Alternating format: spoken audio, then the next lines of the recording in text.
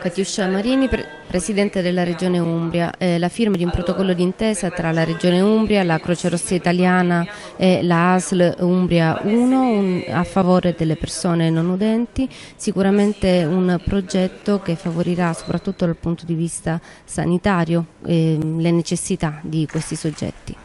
Sì, questo è un progetto promosso, voluto dall'ente nazionale sordi che vede una collaborazione importante della regione che lo sostiene anche finanziariamente, quello di acquisire delle tecnologie che saranno anche gestite poi dal, in convenzione con il Comitato regionale della Croce Rossa Italiana che permetteranno attraverso una serie di ausili alle persone che non sono udenti attraverso il linguaggio dei segni e le moderne tecnologie, quindi ai iPad, iPad, iPhone, computer di poter mettersi in collegamento per accedere a tutti i servizi del servizio sanitario come le prenotazioni, ma soprattutto queste tecnologie permetteranno alle persone non udenti di poter entrare anche nell'accesso della rete di emergenza e urgenza senza l'ausilio di altre persone. Oggi una persona sorda deve fare eh, riferimento sempre a, ad un'altra persona che fisicamente lo aiuta e quindi con problematiche anche di sicurezza quando sono sole. Con questo progetto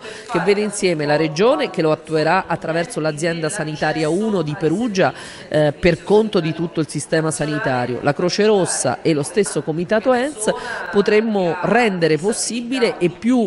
eh, mettere in condizioni migliori le persone non udenti di poter essere sicure e accedere anche da sole alle prenotazioni del servizio sanitario.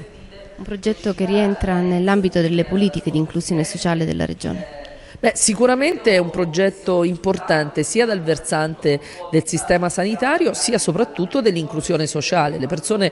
con disabilità dell'udito, peraltro quasi sempre hanno persone che non riescono a comunicare se non con il linguaggio dei segni e quindi a volte si sentono escluse ed isolate anche su servizi fondamentali come quello del servizio sanitario. È un progetto pilota, lo sperimenteremo tre anni, ma siamo anche orgogliosi che l'Umbria sia una delle prime regioni di questo Paese che realizza questo progetto.